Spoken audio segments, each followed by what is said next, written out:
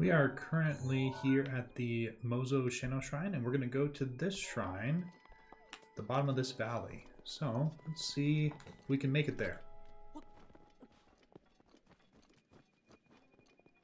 Wow, this is quite the... Is this going to be somewhere we can shield surf? I think it is. Perfect. So shield surfing, I think, is the fastest way to travel in the game when you can do it. There aren't very many places you can do it where it's convenient to do so. But right here seems like a pretty good way. Oh, now we just have to get across this water. Hopefully we're not too low. Now we just have to get to the shrine. Oh no. Maybe we did go too low. Although we did go pretty fast. Oh no. Oh no. That water looks cold. The water looks very, very cold. Okay. Abandon. Abandon. No, get out of the water. Get out of the water. Oh, wait, it's not cold water? What? How is that not cold water? Okay, that's weird. We're going up. Looks like we have a few stamina replenishing meals. And every time we use one of the yellow stamina replenishing meals, which is so nice about that,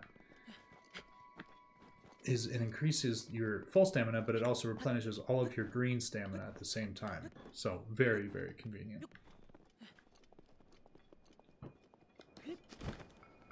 Looks like, is that a silver Lizalfos? And, oh, okay, so a little shrine. Wow, he looks like a frozen statue. He's like checking me out. I think his eyes are looking at me. Do I any more fire weapons? Oh, yes I do. What? Where'd that moose come from? Did that just spawn in?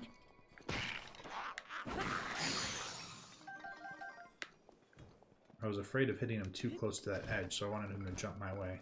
I definitely feel like this entrance right here is shrine worthy. So let's see what's inside. Oh, some torches of some kind. Oh, that looks cold. Oh, it's not cold. How is this not the freezing cold water? Maybe it's protected? Okay. That seems like a oversight. That should be freezing water. Ooh, Maka Rah.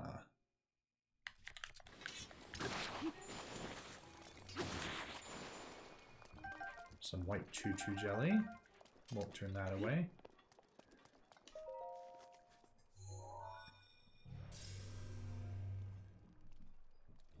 We made it to the shrine.